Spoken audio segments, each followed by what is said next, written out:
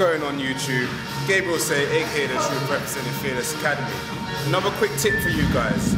If you're like me and you struggle with your chest, chest development across all of it, this exercise I'm about to show you that I kind of made up, but it's just kind of common sense, is something that you can use to really enhance your chest. Alright, so some of you just know it as a seated cable crossover, but I put a little bit of a spin on it. So if you set up the um, machine as seen here, so you want to, you really want the cables to come across your mid chest to start with. Start with the lightweight just to show you.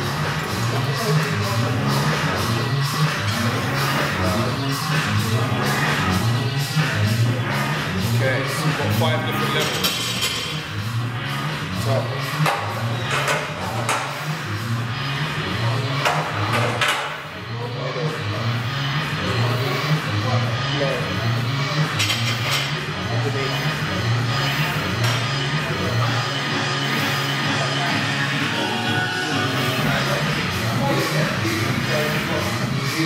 That's one.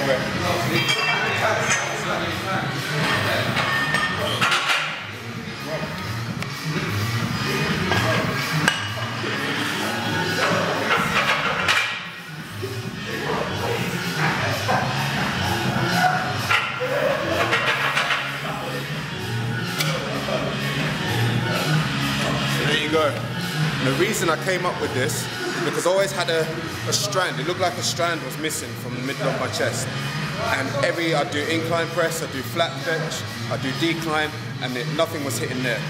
So I thought, okay, well, I'm not sure what angle ne- I need to hit it, so I'm gonna do every angle. So if you, if you want, you can add more into it, but just make sure five would probably be the ideal amount and just hit every angle, that full chest. I mean, upper chest has come through quite well. So I'm quite happy with that. So yeah, give it a try for yourselves.